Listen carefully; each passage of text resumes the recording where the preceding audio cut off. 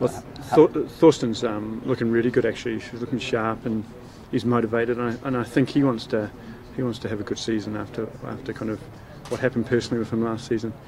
Um, so we, we, we're still keeping an eye on him. You know, he, he's with his hip, and we've got an artificial field, which is which is not ideal for that kind of injury.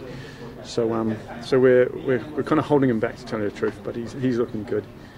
Um, Danny's uh, ACL, obviously, you know, so that's that's something that that you don't want to put a timeline on. You just got to keep him going. But again, he's looking alright. And um, Eric's actually come in really good. He's um, a- again, he's, he's had a couple of niggles in training, so we're, we're just kind of protecting them. The older guys in, on our artificial field, it's it's not great on their on their joints and their bodies, so they're just doing condition running at the moment, condition fitness.